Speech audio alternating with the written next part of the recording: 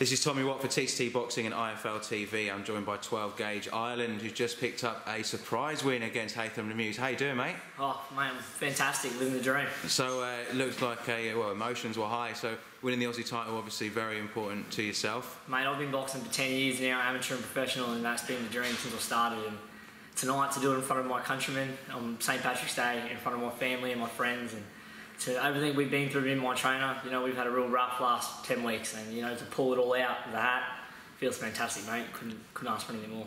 And uh, yeah, it was a uh, great fight for the fans, all action um, from beginning to end. Oh, mate, we how um, yeah, how did it feel while you were in it? Do you feel like you're in control? Um, look, I, I, I honestly don't have words to describe what it's like to fight. Um, I sort of zoned out. I can't remember you know, anything, not because I took hard hits or anything, just because I believe if you think too much in there, then it takes too long for you to react. I believe if you're relaxed and you're just fighting off pure instinct, then things will just happen. You know, I, there's a couple of times there where keywords come out where like you rocked him, jump on him, and you see little things where you think, all right, let's pick it up, let's do this, let's make it hurt. But um, you know, it's not one step, one round at a time. You know, it's never for a second ever think you're not in it because it takes one punch to win a fight.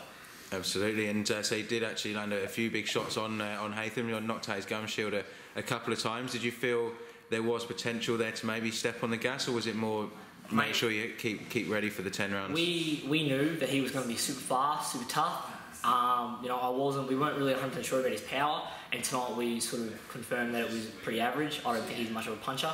Very skilled boxer, very good mover, got great combinations. But you know, mate, I I've never met anyone yet that I feel is stronger or more relentless than myself, and I'm very good at breaking people down over deep water. And when they said 10 rounds, that's my cup of tea. and um, so you mentioned it's been a, a, tough camp for yourself. I mean, for say people at home who won't know about that, what um, what's been going on behind the scenes prior to this fight? Mate, probably about four weeks ago, our gym burnt down from arson.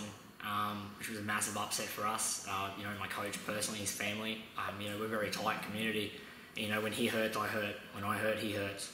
And you know, it's a mixture of feelings when your home goes away you wake up in the morning, you, you don't know where to go. Well, I run and I go to the gym, and then you run, and then I sit at home. yeah. And you wait, and um, you know we've had a lot of people pull together and make things work for the short term, and you know for everyone to pull together and just to put it on the past and not worry about it. You know we've got a huge fundraiser coming up on April eighth um, at Dorset Gardens. Uh, so if anyone feels like coming down and come and see some famous sporting people and chip in and helping out. That'd be fantastic. April the 8th.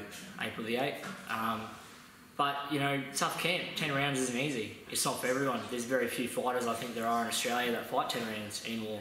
You know, it's very hard to find a long distance fight, especially with competitive opponents. You know, Haithem's yeah. from Malta. Yeah. He's not from Australia. He flies in, flies out, flies in, flies out.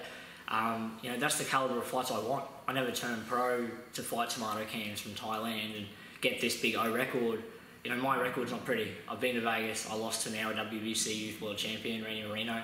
That was a fantastic learning curve for me. I was undefeated at the time. Thought I was invincible. He proved me wrong.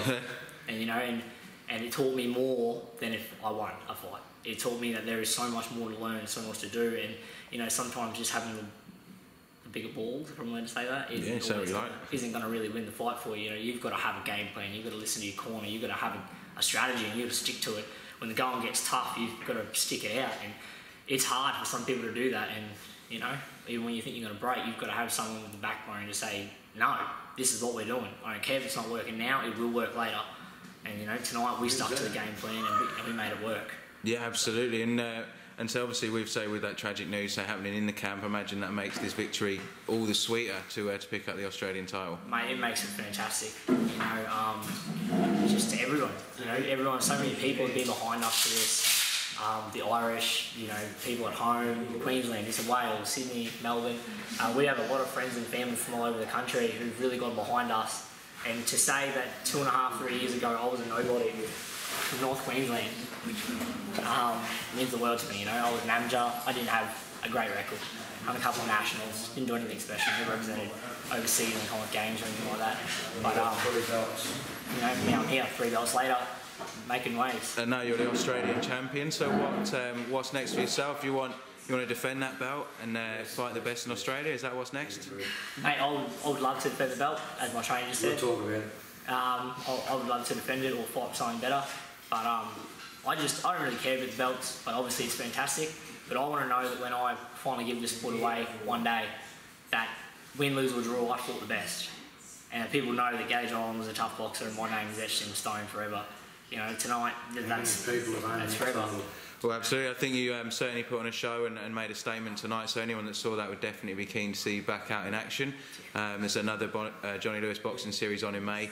Maybe we'll uh, see you back then. Uh, Yeah. But until then, wish you all the best with your fundraiser April 8th in Dorset Gardens. And uh, enjoy your celebration. Enjoy the rest of Patrick's Day. Well, mate, thank you very much. Up the Irish. All right, cheers, Gaige. Thank you. Mate.